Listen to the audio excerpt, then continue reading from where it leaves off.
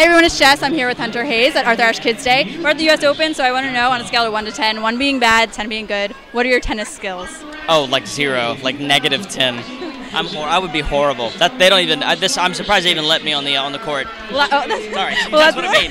well, that's okay because you're performing today, so no biggie with that. We'll get to see him on stage in a little bit. So now, excited. you did, made a big announcement on the Today Show yesterday. I see your tattoo sleeve going on. Do you have a real tattoo, or is that it? Now this is all this is all temporary, but it's all in celebration of the um, of the Tattoo Your Name tour in the fall. Yes. We're really excited about this tour. This is a big tour for us. It's not just another arena tour. It's uh, of course, it's never really just another arena tour, I guess, but um, but this one's really special. We wanted to design a new technology and do some really fun stuff, and and gi- give the fans the uh, the proof that they are the best part of the show. So it's I can't tell you exactly what we're doing just yet, but it's gonna be fun.